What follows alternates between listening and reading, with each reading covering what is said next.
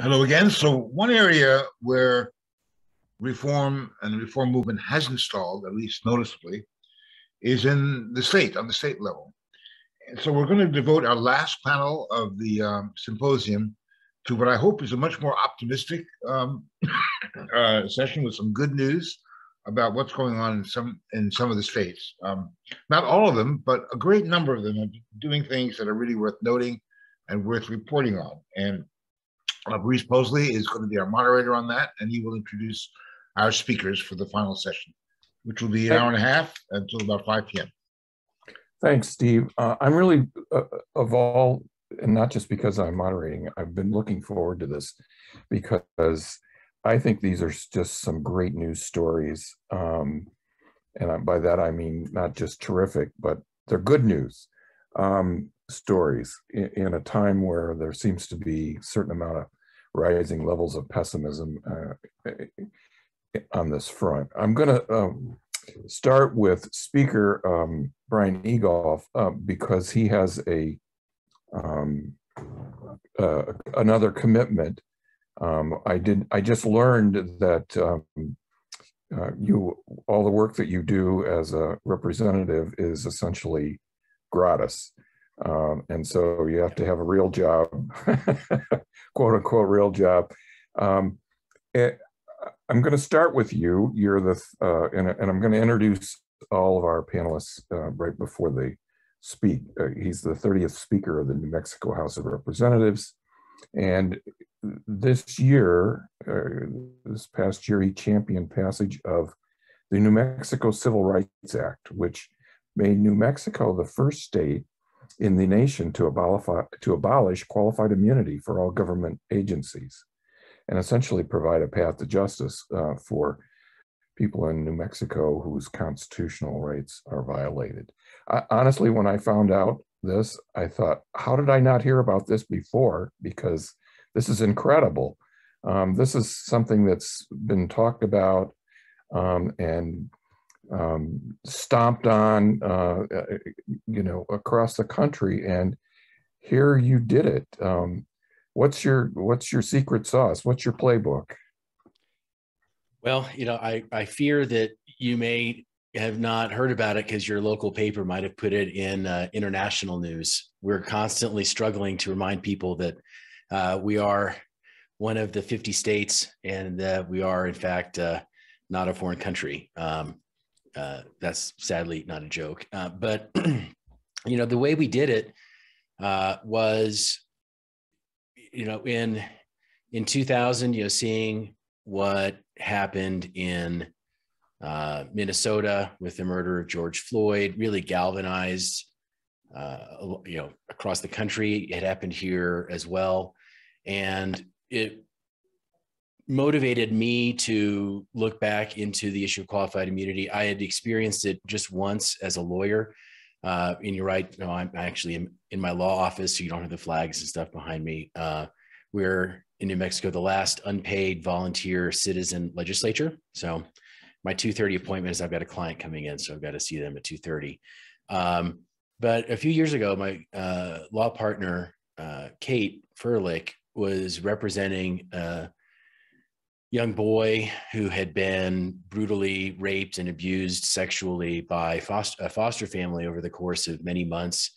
Just horrific abuse involving multiple children, uh, you know, awful, uh, really just beyond description. And uh, she took the case to federal court and we lost on qualified immunity because there was not a, a, written opinion from the 10th circuit informing foster parents that it's violating the rights of the child to uh, rape and abuse them and I, I could not believe that that was the law i mean it just did not seem po- possible to me that in this country that is the case but unfortunately it is so i uh, I saw qualified immunity present a problem outside of the law enforcement context in that point, but I knew how I was aware, of course, of the law enforcement issues.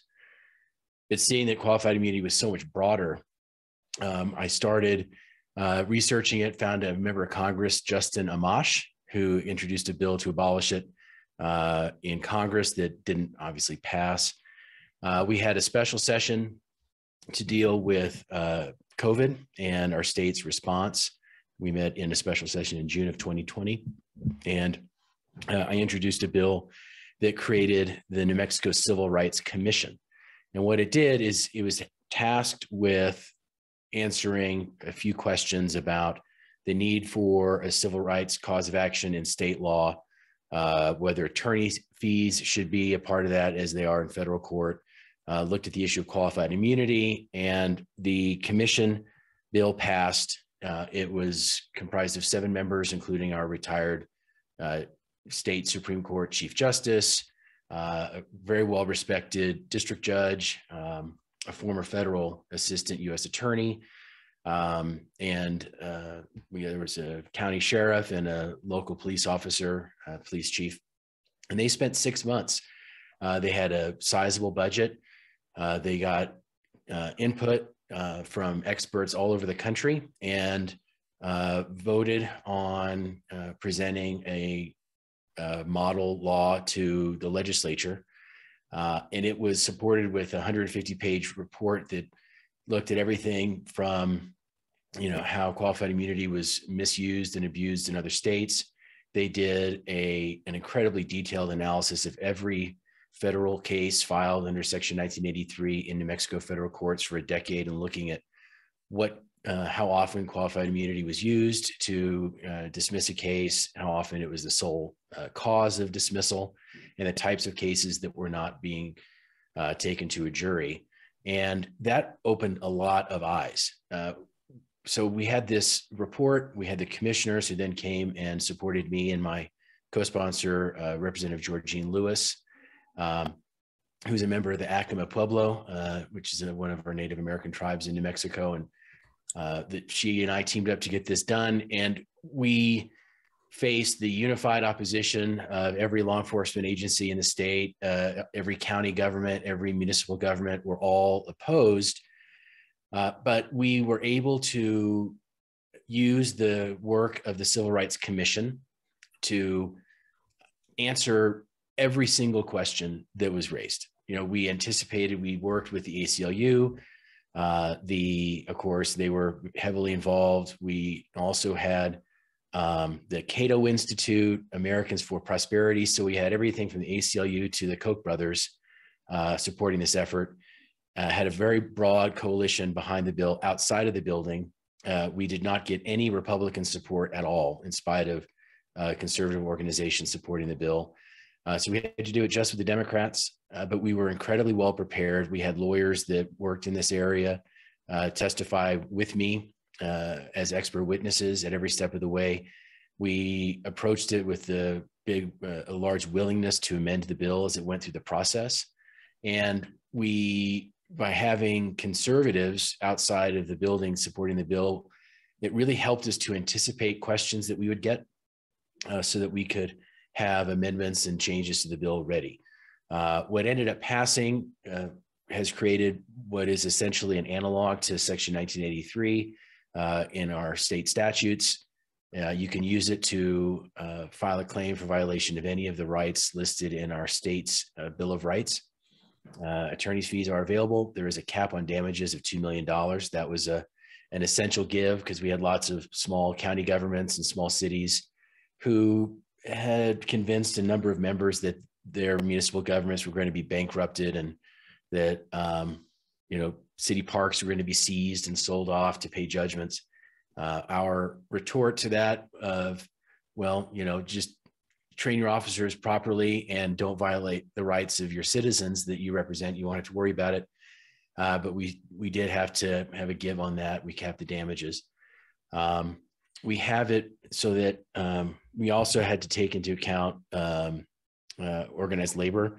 New Mexico is a democratic state, and we stand with our unions on every uh, issue that we can. And there were a number of public employee unions that were very concerned about uh, their members uh, being sued um, for uh, you know things that wouldn't typically be um, a civil rights cause of action in federal court.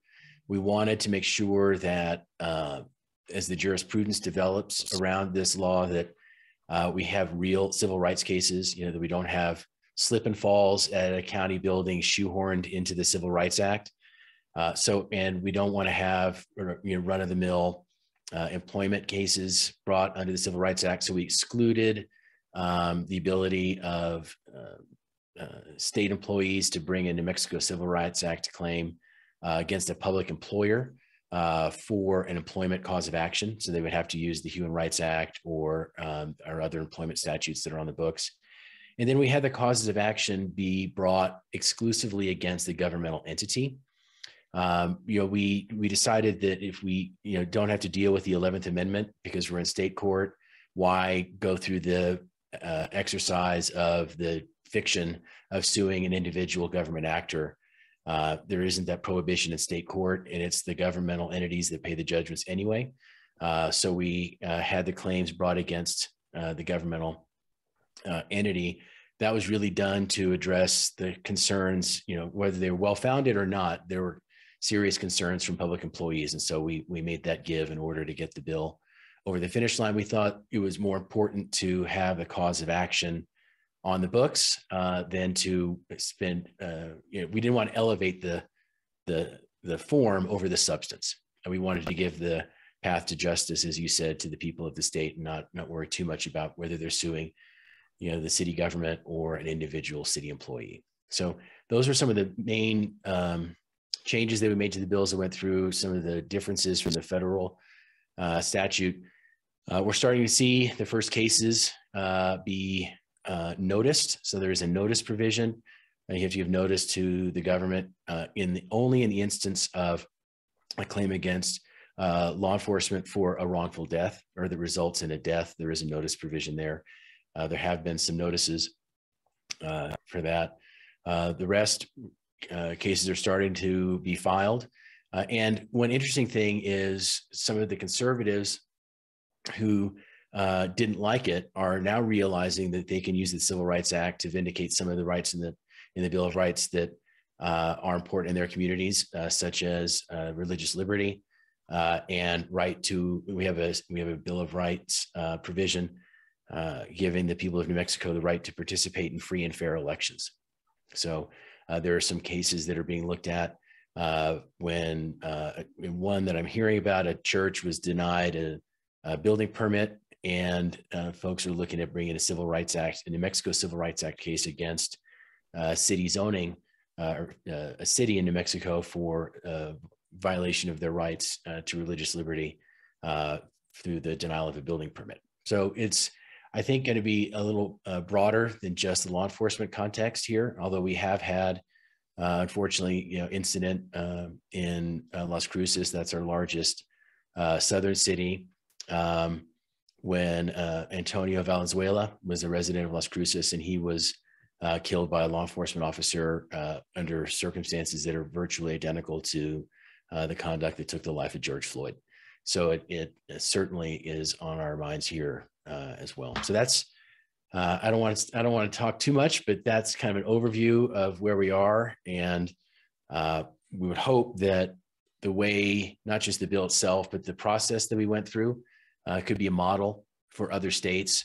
And I, I really cannot overemphasize the importance of having that um, civil rights commission do good, thorough work informed by national experts in the field. Uh, that added a huge amount of credibility uh, to the process. Uh, and uh, I think if other states want to follow uh, in our footsteps, that's a piece that uh, I would strongly encourage folks to to undertake. Let me just ask you a couple questions, um, Speaker. Um, and you talked about the analysis of, of, of, I think, a decade worth of cases. Um, what, and and you said that that or indicated suggested that that was fairly damning. Um, can you give me give us a little bit of a sense of what what that found? Yeah, so I'll have to do this off the top of my head. I'm a little rusty. Well, I'm not going to hold you to the numbers. Yeah. you know, it was about um, of the cases in which so we there were about 1,700 cases uh, filed under 1983 in the period that was looked at. Uh, I believe that uh, qualified immunity was asserted in about 300. So it was a little less than a fifth. Uh, it resulted in uh, dismissals in about half of those cases. So about uh, 10% of the cases were tossed. And in about half of those, so 5%, uh, they were dismissed where the sole reason for dismissal was qualified immunity. Now, the cases included the one, like I just mentioned, of the the, you know, the sexual sexual abuse and rape of a child. Um, there were, you know, quite a few involving law enforcement. So the data was helpful to us in two ways. One, because it showed that uh, it is resulting in cases uh, being thrown out of court that have obvious merit. Uh, to when a layperson looks at the facts of the case, they can't believe that there's no opportunity for justice for people that have suffered the kind of uh, injuries to their constitutional rights, is what was shown in those cases. The other way it was helpful is it countered the argument that there was this huge flood of uh, civil rights cases that was going to sweep through the courts, and without the shield of qualified immunity, courts would be overrun, governments would be bankrupted. Because we were able to show that out of the total number of cases that were filed under 1983, qualified immunity only took place in about five uh, percent of those cases. Uh, so it, it helped us to uh, convince some members of the legislature uh, that we were unlikely to face a, huge number of costly uh, cases. You know, I, I think that's a really important point to make because um, in, in, my experience uh, as a journalist, when you see um, when, when um, Illinois, for example, was one of the first, if not the first state to pass a post-conviction DNA testing statute. Um, the, the, the cries on the floor of the legislature were, we're going to, the courts are going to be overrun. The, and every, every person in the Illinois Department of Corrections who had some physical evidence in this case is going to be filing a motion. And, and you know, history tells us this is not true. It doesn't happen. Um, and in fact, um, the number of claims that where the testing is done and they're good for it um, is very, very low. Um, and so I, I do think that that's a really important uh, factor to, you know, face it. My my belief has always been that immunity protects the unethical. Um, it doesn't protect. I mean, it, eh, the the ethical prosecutor, the ethical, you know, the pe person who does it right doesn't need it. Uh, it only is the ones that uh, that that commit the violations, you know, that it protects. And so, um, I hope that uh, uh because you have to leave early, I, would really like to encourage people to ask questions because we're we're not gonna we're not gonna have them for uh, the whole the whole por portion of the panel here, but um, the, and I did just put, by the way, in the chat. I hope that attendees can see this. I put a link to the Civil Rights Commission report, uh -huh. uh, so folks can see, you know, what the product was. Uh, and as we're waiting for questions, another thought um, that would be helpful if you know folks are looking at doing this elsewhere is uh, the passage of the Civil Rights Act here in New Mexico revealed a profound and absolutely almost universal misunderstanding among members of law enforcement uh, about what qualified immunity is. So there was a lot of talk among uh, law enforcement officers that with the end of qualified immunity, uh, they were going to be sued and be personally liable for walking across the street. You know, they thought that it was an immunity against them personally um, having to be held accountable for basically anything. So there, there was it, there was a there was a feeling among law enforcement that qualified immunity makes them immune from virtually everything, and that by eliminating qualified immunity, they were going to be subject to any number of frivolous lawsuits, and they were going to be losing their houses, and they would have no you know their bank accounts would be taken away and things like that. So it, there's been a massive effort that we have undertaken to explain to members of law enforcement that if you follow your training, that if you uh, are not acting outside of the Constitution, that you have nothing to fear. And we have that added protection here in New Mexico where individual law enforcement officers are not going to be the defendant in the case. We did that to try to preempt concern among individual law enforcement officers. Uh, that was not uh, as successful as, some of the other things we tried because uh, the opposition to the law remains pretty um, widespread among law enforcement. Uh, and you know, we we'd like to get past that. Uh, I don't know if it's possible, but we are certainly giving it a try. Has there been any threat of legal challenge to the to the statute? No, I mean the most we hear is you know we uh, we'll hear things like you know anecdotal reports that a law enforcement officer will uh, quit the force in Farmington, New Mexico, which is on the uh, which is in northern New Mexico on the border with Colorado, and that they move to Durango, Colorado, across the border and become a police officer there. You know, or we hear things like you know, police you know recruits don't want to come to New Mexico, or people are leaving the state. There's nothing measurable, um, and we're also dealing right now with um, I think there's universal recognition among Democrats and Republicans in the legislature that we've got a a crisis of violent crime in Albuquerque, New Mexico. Um, you know, the murder rate has uh, more than doubled in the last two years. A huge amount of property crime, uh, a lot of small businesses, you know, getting hurt, and uh, more than a few people in law enforcement are trying to blame all of the problems with uh, violent crimes and property crime in Albuquerque on the Civil Rights Act. Because they're saying, oh, well, we would like to enforce the law, we would like to make arrests, but we're afraid to do our jobs because of the Civil Rights Act.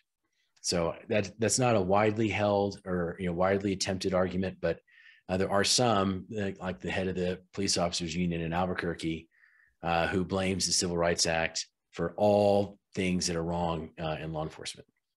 So well, right. If if you watched uh, the uh, judicial confirmation hearing of Nina Morrison a couple of weeks ago, you'll see that one of the most celebrated Innocence Project lawyers uh, in the history of the organization, but behind Barry Scheck and Peter Neufeld, um, is responsible for the uh, in crime rate of, for exonerating wrongfully convicted. I mean, uh, the, the, the arguments that get launched um, sometimes uh, are almost ridiculous on its face, but it, it's amazing how there's a fear factor out there that sometimes gets traction with people.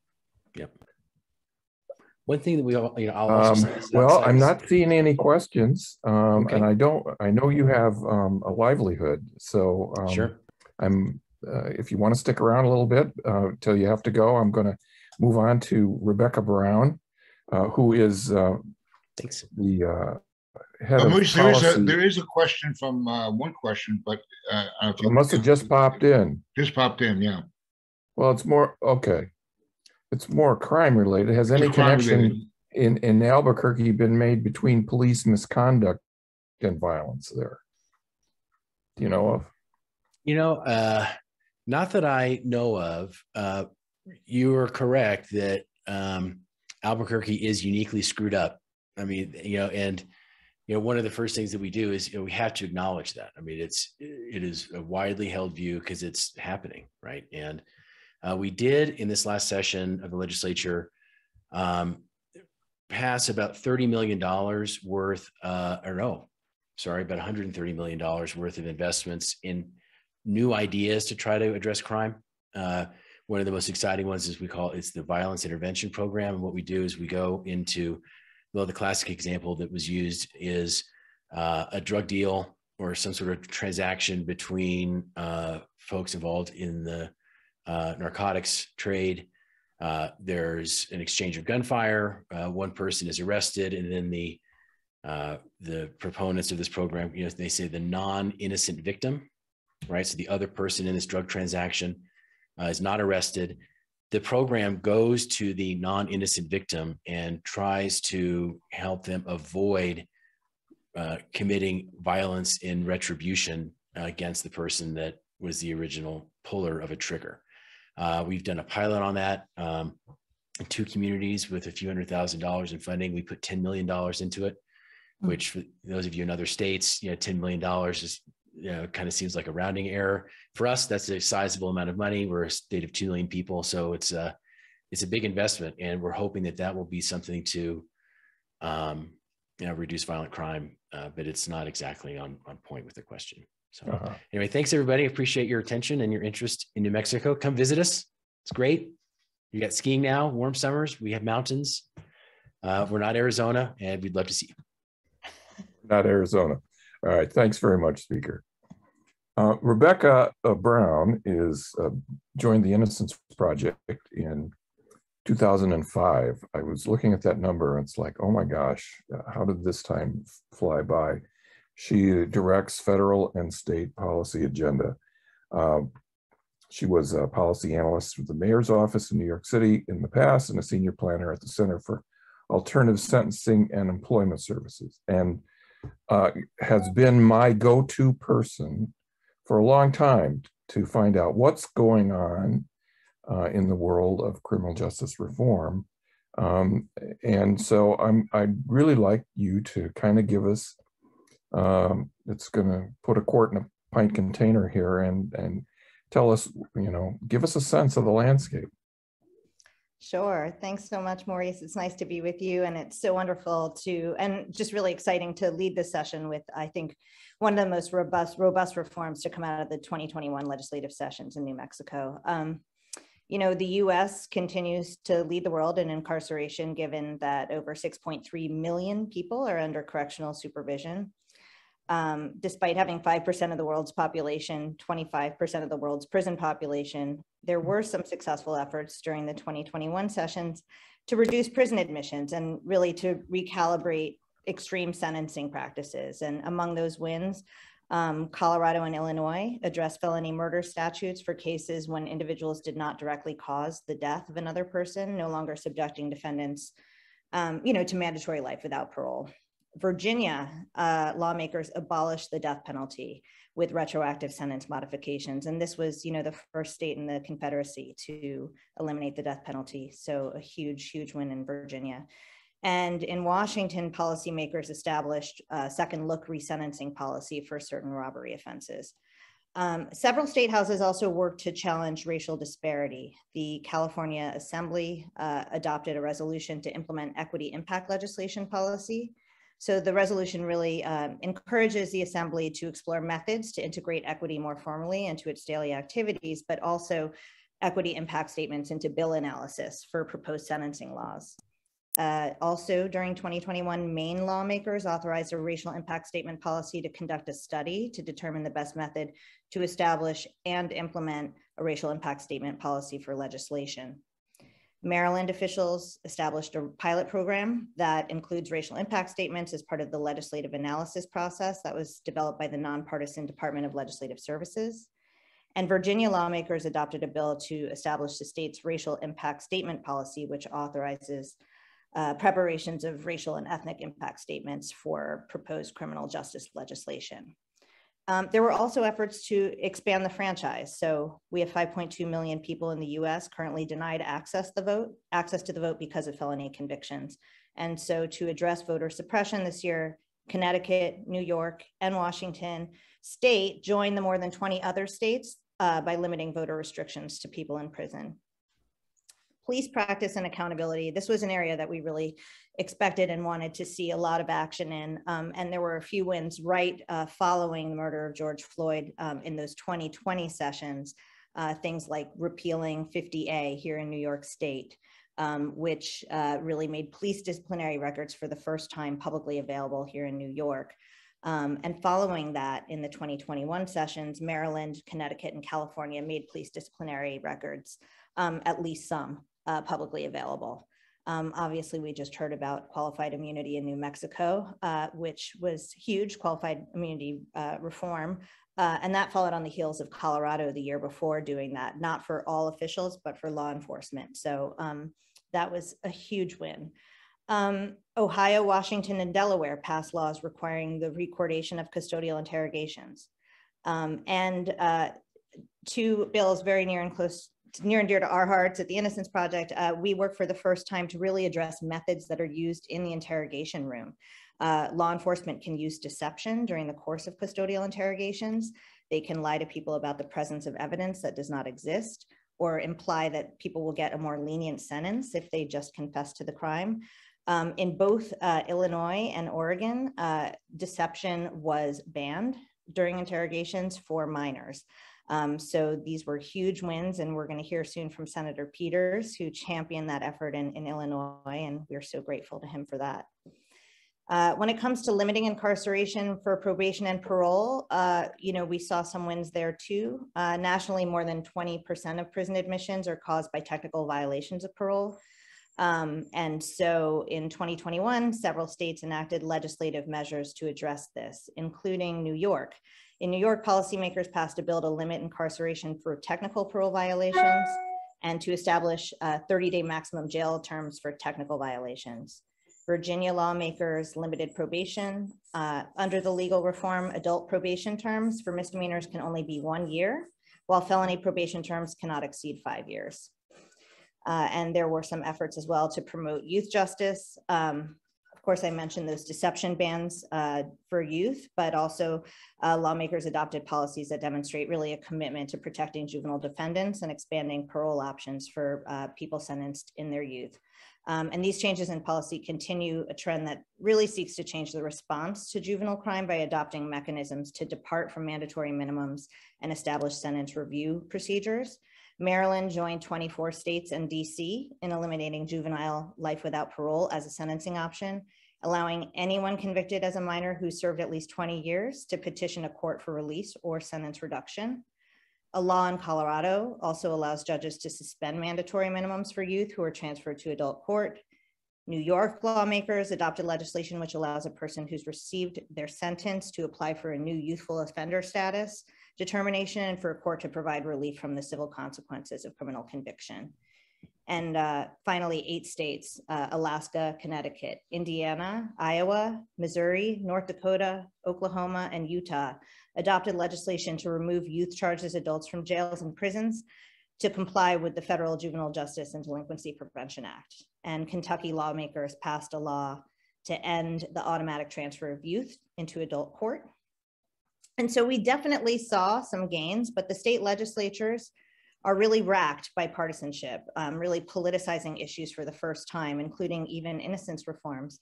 For instance, as of right now, and following last year's election in Virginia resulting in a divided government, the very law our policy team successfully passed last year, which made police investigative files publicly available, is now under attack and has a good chance of being repealed.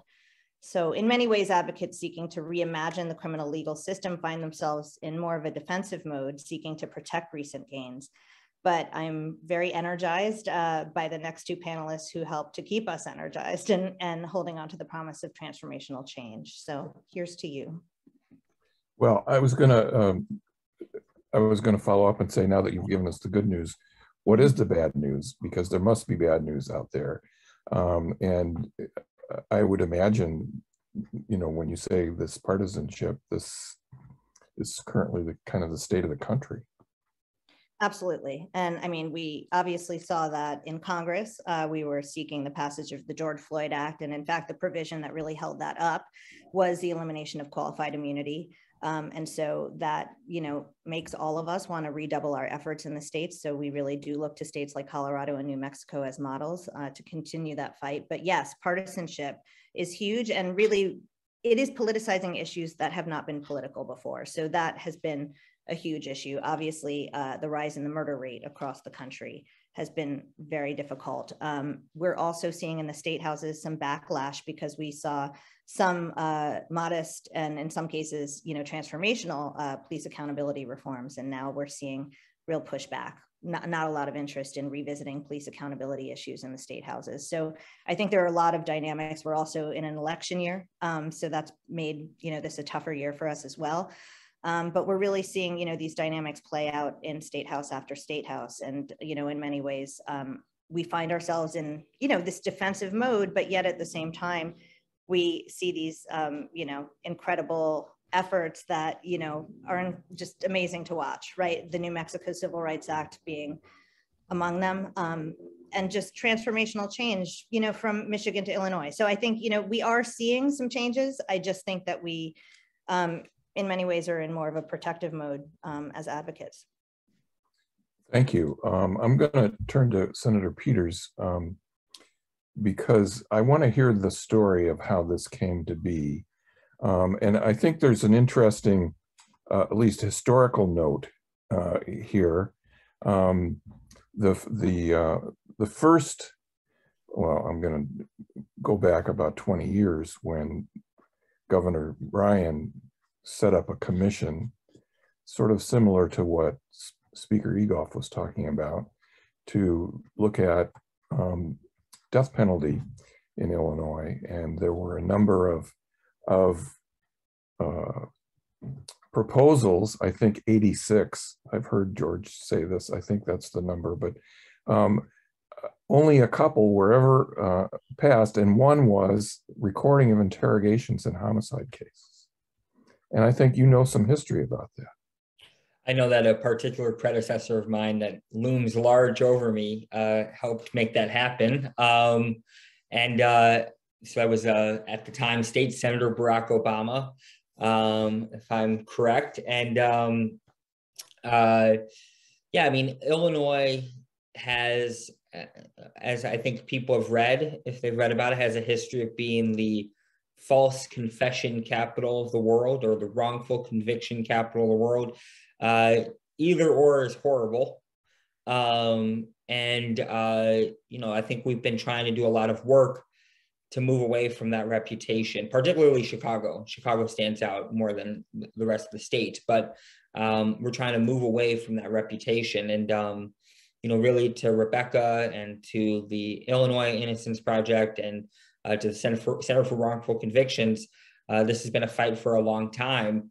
And I remember when we first started on this, the amount of work that they did, I mean, I carried it, but the amount of work done is to make this a bipartisan supported bill in Illinois is truly historic. Um, and to get what, you know, the minority leader right now is currently railing on some uh, tough on crime dog whistle politics and to see him having supported the bill uh, last year uh, tells you about how much work and, and organizing went into making us pass um, a bill that made it uh, illegal to um, deceive young people during interrogations to make it in, inadmissible in court. So it was, and to the point where that work led to recently there was a controversy in Waukegan, Illinois, which is a northern suburb, uh, northern town in Illinois, where um, a young person uh, was being deceived and level of um,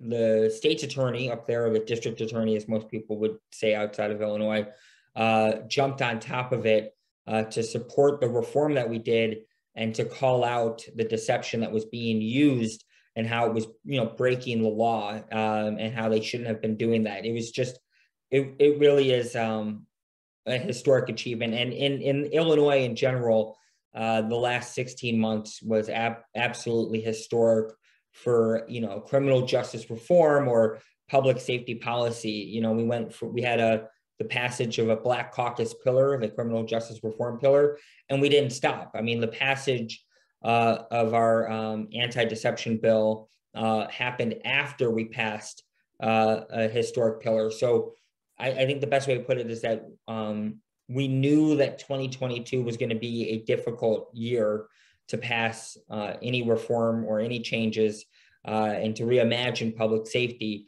And we spent all of last year basically uh, running 100 miles per hour to get whatever we can get done uh, to create the, the type of change that we needed. I think I answered I, I rambled actually. This is what's really good. If nobody knows, I always joke. I was born deaf and had a speech impediment. So when I get to talk, I'll just keep talking. It's just a thing. no, that was great. I, am curious. Um, I remember uh, when um, Barack's bill uh, was proposed and going through, and and the the pushback uh, from police about recording homicide interrogations was well, nobody's ever going to confess again. And when they're, you know, you've taken away, you're taking away our ability to solve crimes. And of course, that's just not proved to be not true. Um, what sort of pushback did you get um, on this one? So honestly, um, again, because of the work that was done to talk to uh, the minority party, uh, the conservative side, um, we had broad support. I think what actually happened is people then asked, well, you're doing young people. Um, what about adults? Uh, and it sort of became the point of what about adults and uh, some of the stuff that some people who were being a bit contrarian was like, this isn't enough. It doesn't do anything around adults. And I always laugh and I go, I'm, you, you think I, I don't want to just stop at, you know, young people. Of course, I want to take this to the next level uh, when it comes to um, adults. But I think that because we passed this broader uh, criminal justice pillar that we call the Safety Act, um, a lot of the pushback has been focused on some of those pieces. So we ended cash bail in Illinois. That was sort of the first entryway to uh, attack uh, and do a wink and a nod, dog whistle, wink and a nod. And then we had a felony murder reform piece of legislation. Uh, and that became the second space that they decided to go after. And then um, there, we did some police reform. And what always happens when you do any police you do anything around police this is why i always say you can't you, you could never not do enough police reform. Even if you do the smallest amount uh, you'll hear about how it was the worst thing ever and everything. Um, but what we did was interesting around many of the bills that we did pass in illinois and i had the privilege to be able to sponsor a good chunk of them uh, and it's something that's a point of pride. I was an organizer beforehand, and I organized the coalition and then to be able to carry them is something important. But what we did with a lot of pieces uh, was delayed, impl- we, not an immediate effective date. Um, they tend to have delayed um, effective dates so that there's a few things. A, if there's any kinks, you can work out the kinks, uh, get them right, right before you have an immediate effective date. Can, we, many of us learned on almost on oh, let me say this on every issue involving criminal justice reform we learned from new york on um, and uh, so we learned from New York um, about bail reform, where they had an immediate effective date, basically, or short, very short effective date, and basically how the press, you know, I know I'm talking to press here, went really. I mean, there's a New York Post headline that will always still disturb me to this day. Um, and we thought, okay, well, actually, what we do is if we delay these and have intentional processes um, there's a few things. Nobody can blame us for not being intentional to get the policy right. If we have to clean up the policy, we can do that before it goes live. And then uh, on the last part is that reactionaries will trash a policy and forget that that policy hasn't gone live and they look stupid. So for many of the things that we did, we would put, you know, like I'll use the ending cash bond that doesn't go into effect until the 1st of January 2023. So the amount of people who were like, this is the reason why violence is so bad, I would always laugh because we'd be like, well, actually, what you're mad about is the thing we're getting rid of. So what you're mad about is the status quo. The thing that you say you want to keep is literally the thing currently. Uh, and what we're going to bring in is a whole new system, but that doesn't go into effect until next next year. And that's when you started seeing people shift from complaining about bond or using bond as a political uh, hit to moving over to felony murder uh, because they knew that felony murder on its own sounds bad. Uh, it's not. It's basically to make sure that uh, we don't have situations uh, around uh, accountability. So if you're a group of young kids and you were breaking into someone's home, someone said the New York Post and the press are two different things. Uh, I, I, understand that. My apologies. Let me not do that. Let me not do that to anybody. Um, so we it was essentially it was built out of uh, what happened in Lake County where some young kids were uh, breaking into someone's home, and one of the kids that was with them got uh, shot and killed, sadly, and then uh, all the other kids were being charged. Um, and so a lot of the things that we've done in Illinois around, you know, deception, around bond, around um, felony murder, around a whole host of things come from the fact that Illinois has a shameful history on some of its practices, and people have been organizing and fighting to change this for years. And so um, we, you know, I to quote a lot of people um, who say that when there's a crisis, there's an opportunity. That is in fact true, and that is okay. There was a crisis in 2020, a variety of crises, uh, and it was particularly painful uh, if you were black and um, and then if you were an immigrant uh, in in this country. And we, as a Black Caucus, responded to that crisis and then kept going. And it's something I think is a point of pride. I I go out to California. My uh, my future father-in-law is very proud uh, LA resident. Likes to brag about LA. Often, when we think about Chicago or Illinois and our level of insecurities or how we're used as a joke, uh, we don't tend to brag about where we're from. Uh, and whether it's LA or if I'm visiting New York, I put on my little Land of Lincoln hat that says Illinois on it, and I say everybody should be more like us. And uh, I exhibit everything that people hate about Chicago insecurity and and and about what we've done. And I think we are a really good model. Uh, and I see that you know a lot of criminal justice reform is in the news. It's a political dog whistle. Uh, and um, I've somehow gone through this whole thing not cursing, so I'm going to try not to curse. But um, what I say is it's not my job to have to answer for the failures of the status quo. And I will never answer for the failures of the status quo. That is their job. I'm going to talk about what we're doing. I'm going to frame it in a way that people definitely need to hear it, which is the battle that we're in is not criminal justice reform versus the status quo. It's public safety for all versus public safety for a few. Fundamentally, I don't, I, me taking on criminal justice issues uh, is out of a place that felt, feels like a necessity. I'd rather talk about economic justice issues. I rather talk about uh, where we are at in terms of our broader system, systemic issues. But it's almost difficult to get there when we use uh, the criminal justice, criminal legal system the state as uh, a de facto replacement for the welfare state or for the care state. And I rather shift us from relying on putting people in prisons and jails and using horrible child protective services uh, and move to actually giving people what they need. And so I always make this comparison. If you see a safe neighborhood, they all have the, roughly the same thing great schools, great jobs, you can get to point A to point B relatively easily. If you're having a healthcare crisis, you know that there's a hospital and healthcare system there. You can afford or you can have uh, a therapist or a social worker or someone or someone who does care on the mental health side. That does not exist. We've disinvested so painfully in working class communities, particularly working class communities of color. And what we are doing around changing our criminal legal system is fundamentally changing who's allowed to have public safety and who's not. Uh, and I, the way I put this is we are reducing uh, the blue light wall of segregation uh, that particularly exists in Chicago, but also exists in so many of our communities. Where you see a housing, you know, they always say Chicago has one map.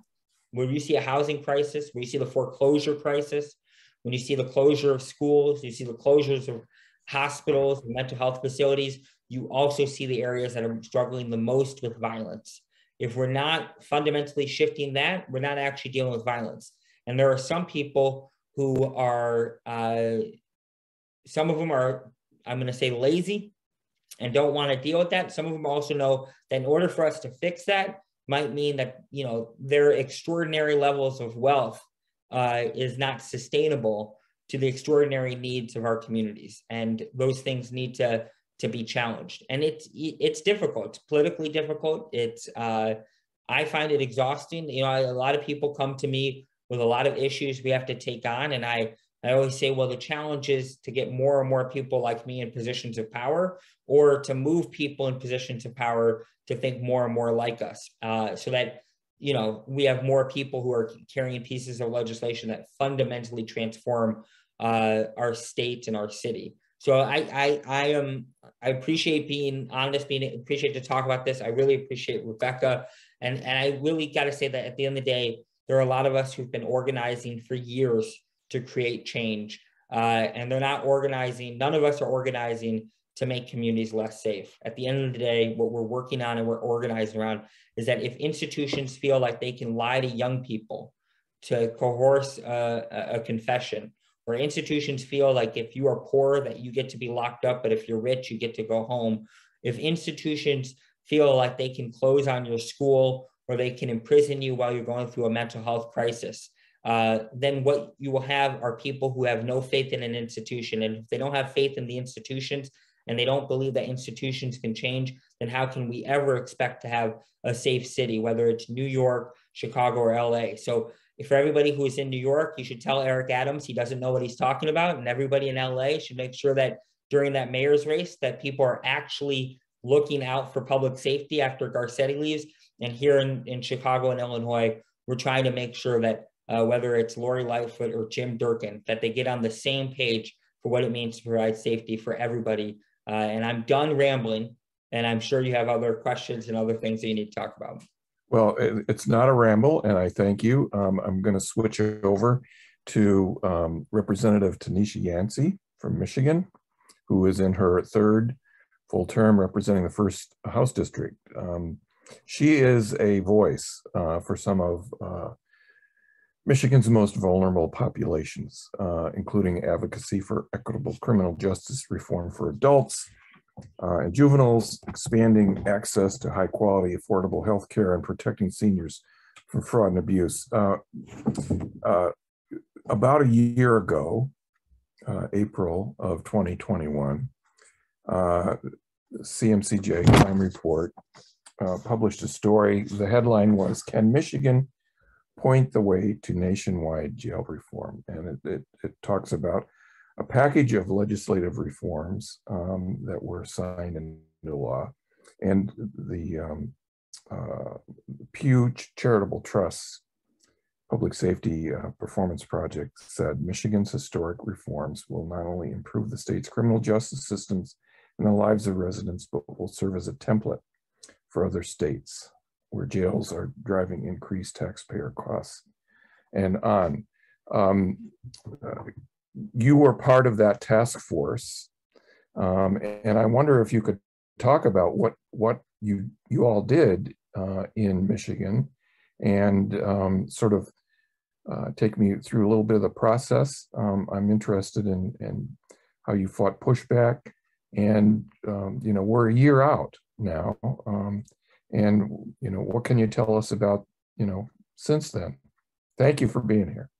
Thank you for having me. Um, yeah, so it was it was actually a very great opportunity for me to serve on the Joint Task Force. It was the Michigan Joint Task Force on pretrial and jail incarceration. Very long name, uh, and we met even longer than its name over some a period of time um, that stretched across over a year, and we're still meeting, as a matter of fact, to this day, uh, to ensure that some of those recommendations that we did make are actually implemented. And so, what we did here in Michigan, we the governor, Governor uh, Gretchen Whitmer, um, she joined or, or created this task force where I was very, very grateful to be a part of um, as a former assistant prosecutor here in Wayne County. Um, I saw injustices across the board. I saw how out of 43 municipalities in our county, um, majority of the defendants primarily came from urban areas such as Detroit.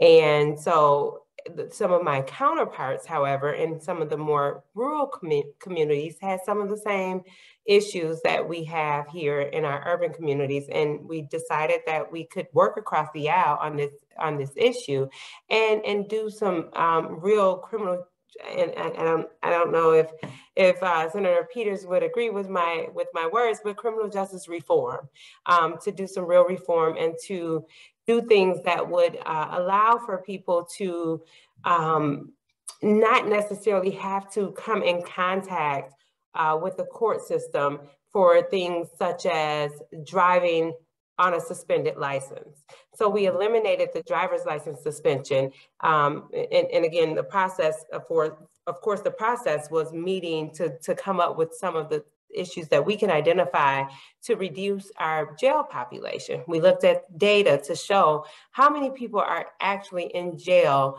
awaiting a bond or awaiting a court date for driving on a suspended license, or how many people had their bonds revoked because they simply didn't show up for court. And so we we met and we looked at data to see what that what that looked like and how many people were actually missing days of work and how many people actually lost jobs because they were simply waiting for our criminal justice process to take take its eh, eh, take its uh well I, I would say due process but for our criminal justice process to take its course. Um, and, and a lot of it was a lot of red tape. So we worked across the aisle to make um, much needed progress and reforms. Um, excuse me, in multiple facets of the criminal justice, which included eliminating our driver's license suspension as a penalty for infractions unrelated to dangerous driving. Um, you know, if we if you have a driver's license that if you have a suspended driver's license and it was not something where you caused an accident or you caused a death, we were able to um, eliminate those those penalties or eliminate the penalty being jail. Um, driving without a valid driver's license was the most common charge at our at jail admission for Black residents in our state of Michigan, based on the research that was done uh, by Pew. And so that was one of the biggest accomplishments that we made. And then we were also able to increase the use of interventions in lieu of arrest. Uh, so in lieu of arrest, instead of um, you know, if there's um, we we gave the law enforcement the options instead of having to arrest someone with a warrant. We are now they, they are not to automatically assume or or the first step is not to arrest. The first step is to try to to try to find an alternative to an arrest before making an arrest upon a stop. Um, and then we improved our, pro well, we're, we're, working on improving our probation practices. Um, I attended, uh, a, I actually attended a conference in Florida that, that where they are more like community officers instead of probation officers. Um, and we are looking at some practices here as well, because when you have a, a, a negative connotation or a negative um, experience with this system, then you're likely to not just as the defendant who has to see the probation officer, but the probation officer themselves are automatically in a defense mode as opposed to being in a uh, in a mode of, of community and assistance or helping this person. Um, and so we find that a lot of people are getting probation violations, technical probation violations on things that really aren't criminal in nature, right? And so we're we're revoking their, or not necessarily their um, parole, because this was strictly on the jail basis and not on our prison levels. But we're we're causing people to violate or were violating their probation and sending them back to jail for technical violations. So we had to look at that here in Michigan as well to see how we can reduce our jail population uh, for things that are not affecting our community. It's not keeping people safe. Um, if it and we kept our vi victims obviously we keep our victims at the forefront again as an assistant prosecutor or former assistant prosecutor victims um, were at the forefront of our minds and any reform or anything that we uh, worked on. And then we also um, reduced the use of jail time as punishment for many non-violent offenses. And so even so with that, you don't have um, a victim most likely in a non-violent offense. So reducing jail time punishments for retail frauds, or again, eliminating jail time for driving without or driving without a license or driving on a suspended license. These actions helped keep, it, it helps keep our families together. It helps people to be able to stay employed uh, because anytime that you miss it, we're a right to work state now. So even if you miss one day of work in Michigan, you could possibly lo lose your job, even if you are in a union environment. So losing um, losing jobs and, and losing your ability to be able to provide for your family ultimately affects the entire family unit. And so these actions help help Michigan families to stay together. Um, and it improves and it causes important societal improvements as well throughout time. And so it provides, we, we want to make sure that we're providing clear paths and utilizing taxpayers' dollars effectively. And we know that incarceration or jail does not do that. We know that um, re, you know we we say that we're using our jail system to rehabilitate, but um, we need to we definitely need to take a deeper look in overall um, and not just in michigan but across the states as to how we are actually utilizing jails is it punitive or is it truly to rehabilitate one of the things um, i wanted to ask you a little bit about was the the idea of reducing um, probation to a maximum three years for not all felonies, but for a, a significant amount. And and you know, you talked about the revoking. Uh, it's my experience is that that, that long probation terms are basically a prescription for failure. Um, it's that that and it just leads to people being, you know, those are non no bond warrants when they're arrested um, for if it's a probation revocation warrant. Um, and it's just a, it, what it does is it just fills cells. Absolutely. Um, and, and it just brings back to memory, I just recently had a, an expungement fair in my district, and a young lady showed up who was from Atlanta, or, or she's from Detroit originally, but she had moved to Atlanta over 15 years ago. And she came to the expungement fair thinking that she would be able to get her record expunged, um, that she could finally get this monkey off her back and not have to worry about her record her criminal record. And there were some uh, opportunities that she was looking at, uh, business opportunities that she was interested in, that was that where her criminal record was preventing her from doing um, uh, or or taking advantage of this opportunity. And so when I ran her ICHAT or when I ran her you know record to see what was on her record for us to be able to expunge, I knew I found out that she had an open warrant. She had an open warrant from 16 years ago on a probation violation. So apparently, after talking to the probation Department of Probation, um, apparently this young lady had um, moved to Atlanta or just left the state without permission from the probation department. And in her mind, in her mind, she had completed probation. That's what she that's what she thought. However, according to the Department of Probation's record, she had not completed probation. She had just, you know, asked if she could go out of town and never returned. So, although they did not arrest her on the old warrant, they were we were able to to get the old warrant um, removed. She was not eligible for expungement because you, you here in, in Michigan we did a lot on on that as well on expungement um, laws here and expanded those tremendously. But even with the expansion of the laws, you still have to wait five to seven years on a felony um, to have your record expunged. And that's five or seven years after you, you have served your jail time or after you have been released from probation, whichever is later. So as of that day, whatever day it was that I was able to get the Department of Probation to lift her warrant and, and to um, remove uh, or discharge her from probation, as of that day, she now has to wait the five to seven years before she can actually get her record expunged. And so, and I know that that was a question about, you know, warrants and, and probation violations, but that is an, that is just a, the first thing that came to mind in terms of a probation violation gone completely bad and that's sort of that um, she's just lucky she didn't get pulled over for you know running a stop sign or something because she would have that's it you're in the cuffs you're you're going to jail. Absolutely. And that, that was one of my questions. I said you, you haven't even gotten pulled over in the last 16 years? She hadn't gotten pulled over in the last and it was a fight. It was a and, and not to not to um, make light of a fight. Uh, I know that some of you may know my own testimony where I have two felonies and two misdemeanors and ha- had not been able to have my record expunged. Um, and luckily for me, I was blessed. I was blessed, not luck. It was blessings that I was able to become an attorney um, an assistant prosecuting attorney and now serving in the legislature, which is great.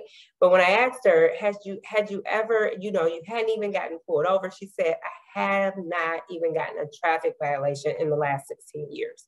So she's done everything right, or you know, for the most part, she has began, you know, begun to live her life right, but then she's still being penalized for something that she had done over 16 years ago, a childhood teenage girl fight. There's a question in, in the Q and A for you, and, and then that is says your district is super weird.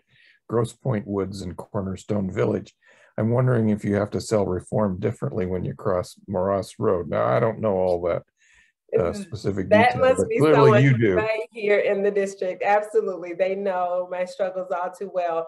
Um, and I have gotten to the point where I don't necessarily try to sell the, uh, you know, the, the most important people for me to help are those who are in need. And if you aren't in need, then you wouldn't understand. So I can't really convince you um, until you've experienced or until someone in your family has experienced something.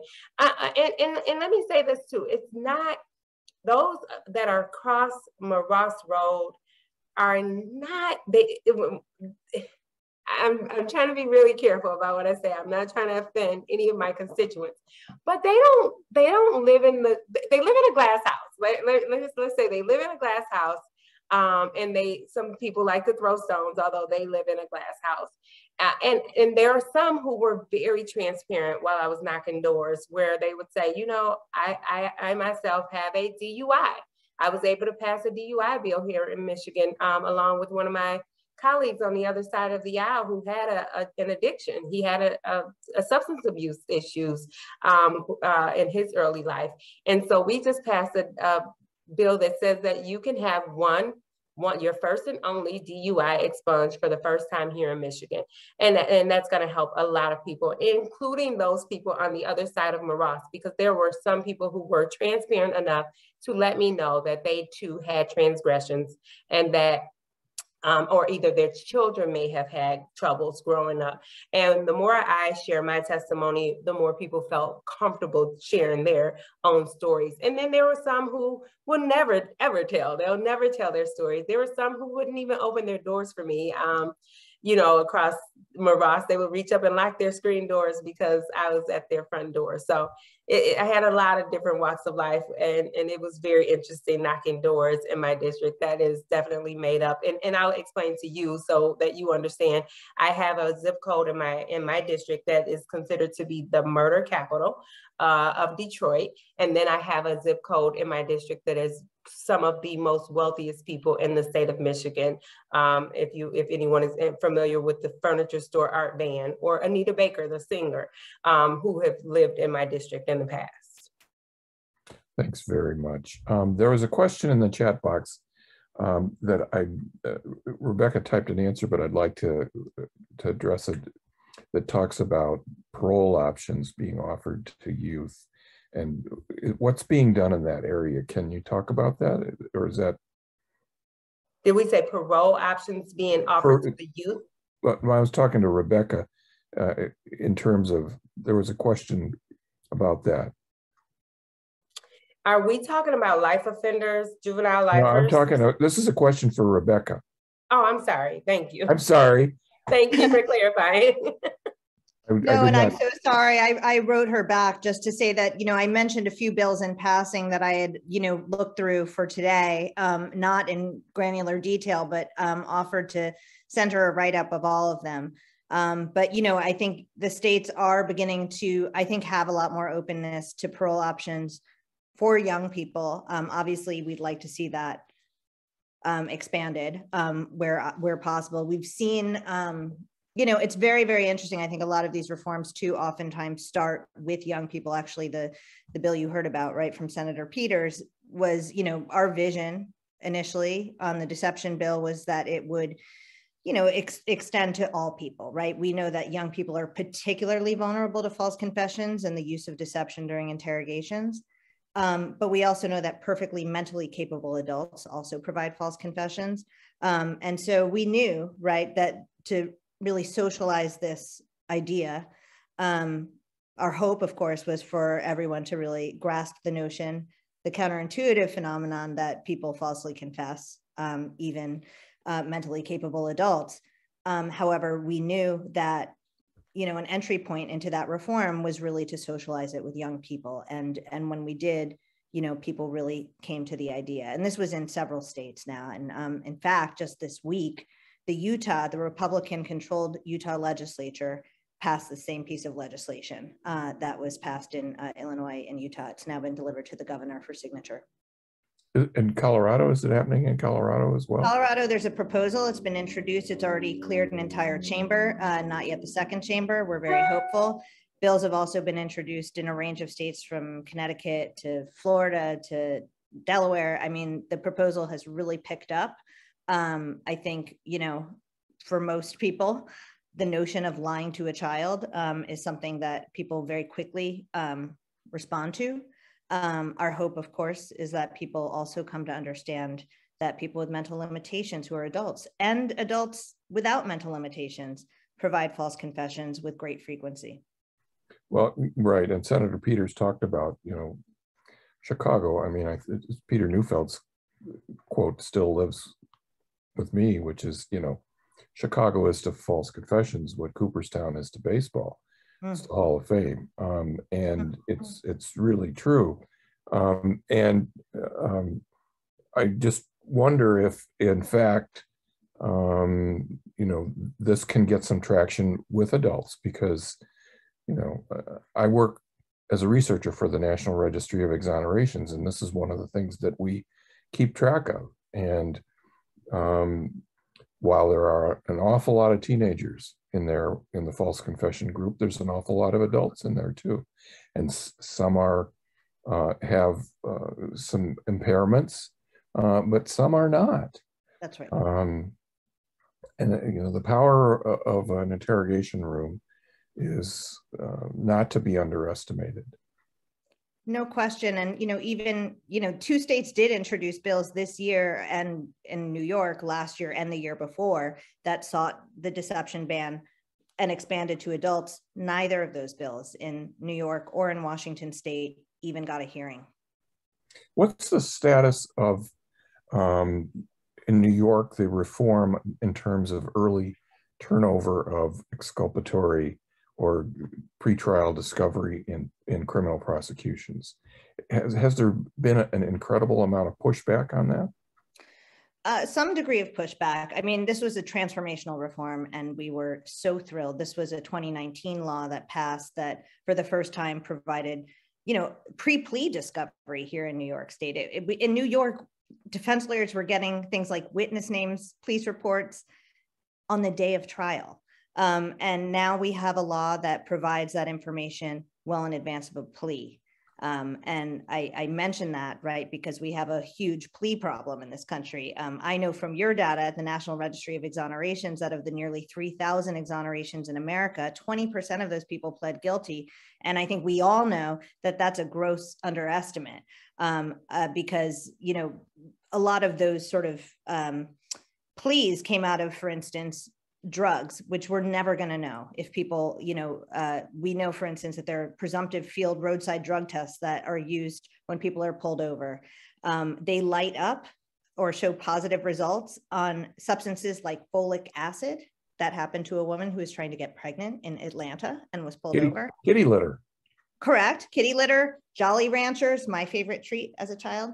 Um, they all light up on and, and, and seem to suggest they're narcotics. When the confirmatory test is performed in the lab, many instances it was not drugs and the person had already pled guilty.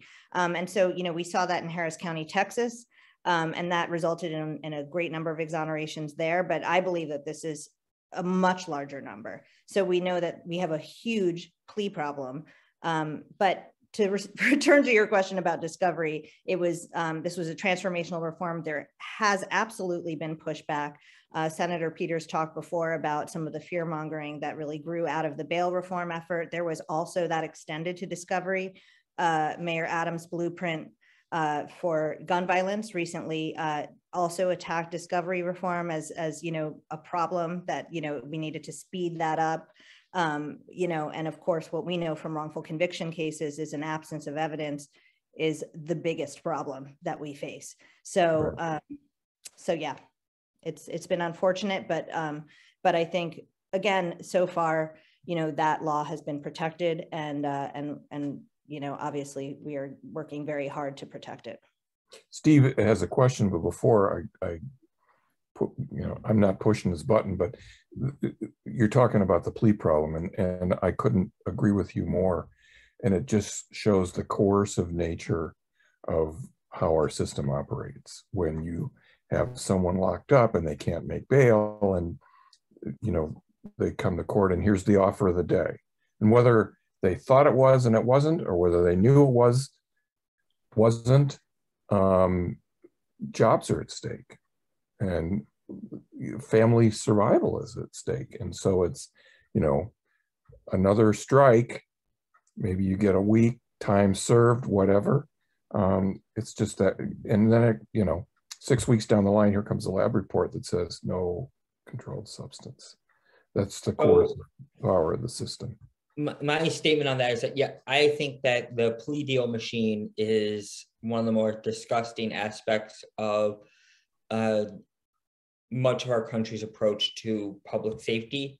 It doesn't do anything to actually improve public safety outcomes. It becomes almost part of a numbers game. Um, what i also do know is that um, I, you know i have some friends and colleagues who are, are prosecutors. And my my joke is that um, it makes them really bad in an argument because they don't go to court. Uh, and so uh, my saying about some of the reforms and changes that we did is that um, sometimes you just got to take, we have a lot of prosecutors in the uh, General Assembly, and I will say, you just got to take them to court because if there's one thing I know that uh, they're not going to be able to handle well is is when it, when they go to court. They'll be really good behind the scenes, like a plea, but sometimes you got to put a bill on the on, on the floor and you got to really put some pressure in. And I, I think my statement on that is basically say we need more people to be able to go to court. Uh, like there's a lot of changes that we need, but sort of breaking down the plea deal machine and giving people their day in court, it will have a fundamental shift uh, when it comes to public safety policy. Well, the coercive power of class X crimes, for example, in Illinois, is not to be underestimated. And, you know, you're going to the mandatory minimums and, and things like that that you that you, that prosecutors have to deal with and say okay you can walk away in six months or uh, go to trial and everybody knows that the trial tax um, steve you had a, a, question yes i do I, am I'm seeing there's a good question as well from uh, cassie uh, Chu for uh, Senator Peters. I won't take up too much time, but I wanted to go back to the question of uh, bipartisanship.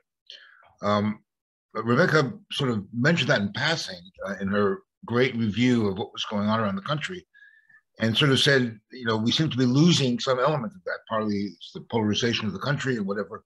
But I wonder if you can put some more flesh on that. I mean, is that something that we think that you think is now endemic to the system? Because if, if so, that would be a real tragedy because it was one of the the elements of pride for all these past four or five years that whatever was happening on the national level, there was bipartisanship at the state level. If that's beginning to be lost, uh, that would be really essentially a tragedy. And maybe Senator Peters and Representative Yancey might want to comment as well how they see it from their um, uh, uh viewpoint.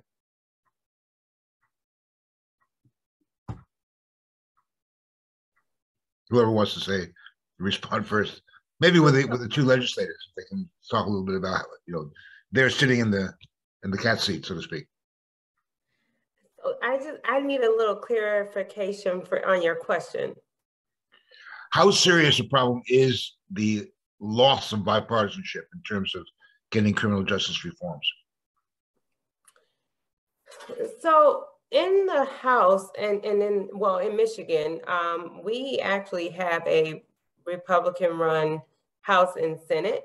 Um, and I think, I, th I think I had mentioned this earlier, that we were able to get some bipartisanship on these criminal justice reforms that we worked on in both the jail project as well as the expungement laws because we're starting to see that that or or people in general are starting to see that this is not just an urban issue right? Or it's not just an issue that is uh, that's affecting Democrats; it's affecting people across the aisle just as much. Um, so we've had some willingness to work um, across the aisle, some willingness from our counterparts to work across the aisle to get these things done. We wouldn't have been, we honestly would not have been able to get these done last year um, in 2022 we wouldn't have been able to get it done if there wasn't any buy-in by bipartisan buy-in because there it's a Senate Senate and um, House majority Republican. Yeah, I, will just interject this because this is a little bit of a side story, but in in uh, reaching out to to you before I reached out to you, I talked to some folks at Pew, and they said, um, "Would you like a Republican or a Democrat. And I said, well, if, if there's a Republican, uh, it would be interesting. And they said, well, the, the Republicans that are running for election are not going to do this. Uh, they're not going to they're not going to appear on a, a public panel with a bunch of journalists from across the country. This, I thought that was a telling comment. Yes, it is, and that's that's really what my point is too. Is whether you know, however it, good it looks to get some bipartisanship, as Representative Yancey said, whether down the line we're looking at, at least for this year, an election year, we're looking at a lot less. Well, so I'll add, I have a colleague, uh, a Republican colleague, and I won't say their name or also spoil for them, but uh, we work together a lot. Uh, uh, you know, and um, he actually said he, he, I said he, so it gives away some people. It's not a lot. There's not a lot of Republican. Illinois is a little different than a lot of states. It's a super majority Dem state. Um, but so we have super majorities in the Senate, super majority in the House. But um, they they were like they basically were like, we'll work on some things later.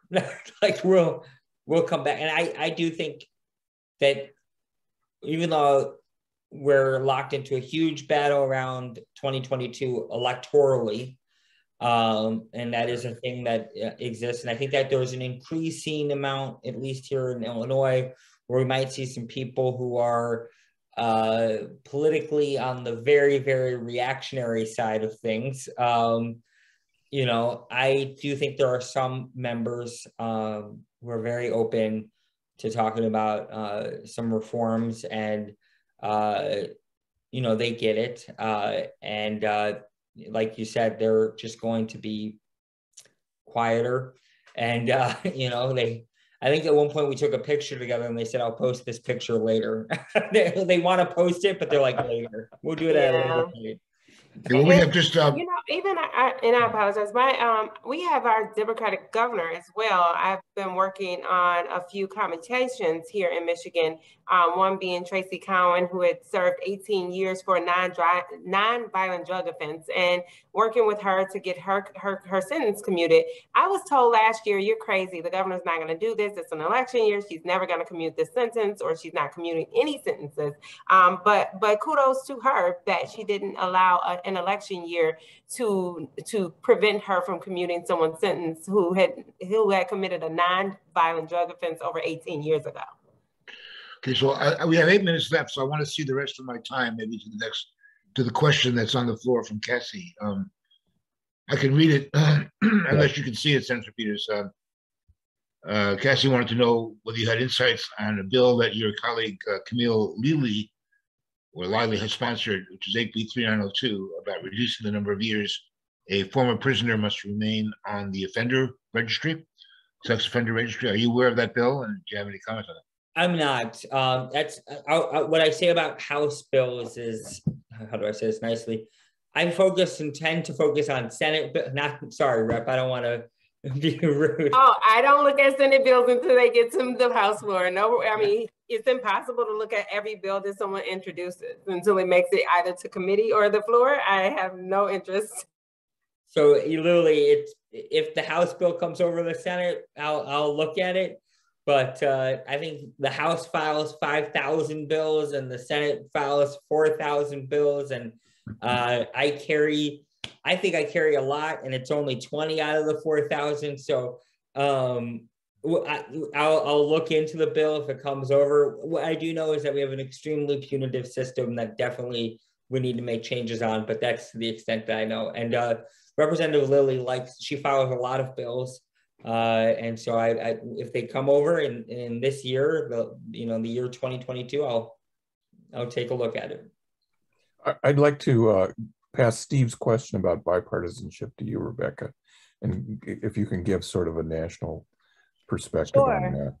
You know, it's look, I think it's complicated because it's hard to make an assessment when there are so many dynamics going on at the same time, right? Like we, I used the Virginia example, for instance. They had an election last year. Um, but most of the states that were in this year, right, they're having elections. So that's just a dynamics that's going to run through this. And and so I think it's hard to unpack that. But I did look, it was it was jarring to us um, that you know in a state like Virginia, where frankly we had seen about six or seven innocence reforms pass in the last few years, to for the first time see a bill just that we just passed the last year get you know that their efforts to repeal it immediately. And and i really you know i've been doing this for about 15 years. I can't remember a time this has happened to us. Um, so it was you know it was quite jarring. Um, you know when i did kind of reach out and talk to some of the lawmakers there they said look we're, we're really in a very sort of partisan moment here and you know my hope of course, you know, look, our, our bills have been sponsored by Democrats and Republicans alike for many, many years. They have been, you know, I mean, I, I don't think anybody wants to see a wrongful conviction. Um, but, you know, we were, you know, obviously interested in more than innocence reform. We're interested in, in reforms to the entire criminal legal system um, and racial justice reform. And I think that it is, um, you know, I, I think it's it's almost a wait and see. You know, my hope is that that's not the case. Uh, my hope is that Virginia is more anomalous and, and things might settle there over time. But, you know, it is true that for the first time, some issues, right, like even innocence issues, which had always been bipartisan, have been politicized. And Yeah. that's that's of concern. The word you used, I think, earlier was defensive. Was right. Well, Right. In many ways, right. I mean, I- we are defending a bill right now in Virginia that we just passed. Um, and, you know, and, you know, and some of advocacy is also trying to kill bad bills, right? And, and we're seeing more and more of those crop up in our bill tracking systems, right? So that's, I think, you know, again, I think part of this too is a response to, you know, a lot of the uh, more progressive reforms that grew out of, you know, George Floyd's murder. And so I think we're really beginning to see some backlash. Um, Yeah. But there are all these dynamics going on at the same time, right? You have state elections, you have rising murder rates, you have, you know, partisan politics. There's just a lot happening. It's hard to really unpack everything that's happening. And again, a lot of these states, they're like different laboratories. You know, you can't make a one size fits all statement about any, you know, the country has many states with many, you know, Utah just passed an incredibly, two incredibly progressive innocence reforms in a Republican controlled legislature. So I think, you know, it, it's case by case, but these are dynamics we're seeing. I have a question for Senator Peters, and that uh, uh, what the, what happened on the uh, felony murder bill? So the the the blowback on the felony murder, Well, did that pass? I'm I'm I'm I'm speaking from ignorance. Yes. So, you know, um, we were able to get that passed in the Black Caucus uh, pillars. Um, and, uh, you know, the idea is if someone is directly involved in a, in a murder, they're going to still be charged with felony murder. Uh, that's a thing in Illinois. Some states don't have that. Uh, if I pointed that out to some folks, it did have a controversial moment because um, I got to be careful. I believe the state's attorney from Cook County was in on one of the panel discussions here, but uh, she's a friend of mine. But someone in her office, uh, I believe, spoke out of pocket about charging a um, charging someone who was involved in what would lead to a murder, and they said I couldn't charge him with felony murder because of this reform. Mind you, you can, you can charge him with like 400 other things and uh, he'd still this person's going to still end up spending their life in in prison. Um no, not a judgment like there's a whole bunch of other things there but uh it was basically seemed to be a hint hint political hit job that i i felt that was unnecessary. Uh and ignored the fact that we have a situation where people are often locked up using at what was the previous law on that expanded view of felony murder that ruin lives, like just ruin people's lives. So many people who go to, we don't have parole, we have what's called the prison review board, will show up at the prison review board hearing and they basically spent 25 years just because they were in a car uh, with someone who, and their friend got shot and killed, and they were charged with murder. Um, that's why we passed the felony murder reform in the SAFE-T Act. Um, and that happens way too often. So um, that's a I thing that we'll that- call, yeah. I'm sorry, I didn't mean to cut you off. No, no, no. uh, uh, uh, California has has done something similar to that. I think where you see uh, people who were held accountable, um, you know, as far away as you know they were s- still in the parking lot, um, you know, 50 yards away, um, but because they came in the same car, um, and and they got essentially LWOP, life without parole, and you see them getting sentence reductions um, to time served in, in many cases. And we can take a string, a line from all the, the reforms and changes that we've made and actually throw them together on why this is horrible for public safety. You take a kid, they're with some friends, uh, they're nearby, uh, somebody gets murdered, they get brought in, then they're held without bond. Uh, they're stuck there for days, they can't pay bond. Uh, which if anybody's ever been in holding, I've only been in holding for I think seven, eight hours doing some civil disobedience. It sucks. Uh, so think about multiplying that for multiple days. Uh, it might smell like shit, uh, which is an amazing combination. If you get a sandwich, you don't know if that bread's got mold on it or not. You get a little bit of toilet paper if you're lucky. So you're in hold, you're being held. Maybe you go to Cook County Jail. We'll get to that. That's not the best place. It's a 120 year old building uh, that's absolutely atrocious. But so maybe you go to Cook, maybe down. Let's just say you're held. Um, so you have all that going on. And then when you're interrogated, this is all before we made all these changes. So you're a group of friends, a friend gets murdered, you're held without bond, stuck in there. And then in Illinois, before all the reforms we changed, you are being interrogated. Next thing you know, they're telling you, you know, your friend, your friend said you did it. If you just tell us what, you know, you just you just tell us, you're it's gonna be you're gonna get the best sentence. Don't worry about it. You just confess and you let me know. And then we create the false confession capital. So fundamentally, if we think about those lines, we change it so that that person shouldn't be being brought in and held forever. They shouldn't be charged bail. If they're not a threat to somebody, and there's no there's no evidence that says that they were a threat, they get to go home and they live their life, go back to school maybe, and then in that process to figure and determine whether they're a threat to somebody or not, the police don't need to lie to them, and that to me is what we've changed in Illinois is a through line that I think all these pieces of legislation all all hit on. And if you add into it, that police officer has a body camera that shows what was happening uh, at that moment at the scene of the incident. Those are all things that we just add in that add more transparency, create greater trust, uh, and isn't stuck in a cynical ploy. So I love to. The one thing I'll say about this whole uh, panel I'm going to use and I'm going to take is I'm going to go to somebody and just go line by line, bit by bit. We always look at these policies almost in, in a form of a vacuum of each policy, but they're actually just a through line that you could essentially take a 16 year old kid and fundamentally ruin their life, both in the short term and the long term. And we change it so that they don't have to go through that experience anymore. And we don't need to have any more stories about someone who's like 45 years old, desperately trying to get out to go see their parent who's struggling to live in that moment. So that that's my Robert's rants, as my staff calls it. I'm done. I'm done. No more ranting. I'm done. I, I want to say um, thank you to all three of you for how you have fundamentally changed lives and will be changing lives through what you've done, through your policy changes, through your legislation, um, and the untold number of people who won't even know um, how their lives have been fundamentally enriched by what you've done. So uh, my thanks to you very much. Thanks for sharing today. Um, and go forth and, and keep that bipartisanship alive.